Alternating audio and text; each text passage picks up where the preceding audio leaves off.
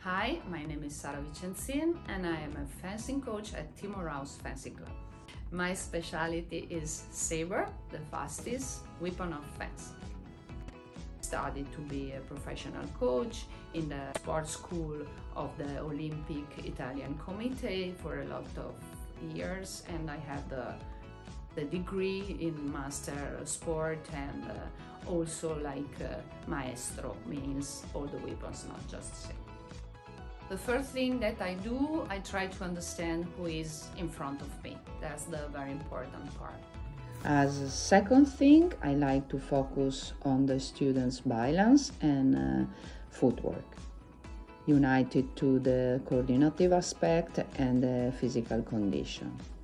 My third thing is absolutely to teach a strong technique. My parents were looking for the right sport for me and uh, fencing was one of the options and I fell in love immediately.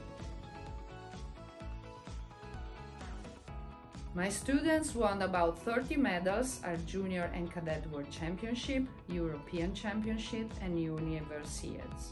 About 50 medals at World Cups and National Championship, all categories. I worked for the Italian Federation as coach and as a coach's teacher.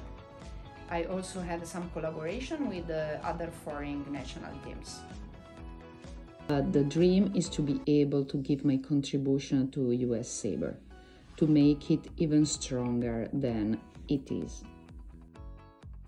Uh, in every single uh, aspect of the life, uh, the lucky part is important, and I feel myself very lucky.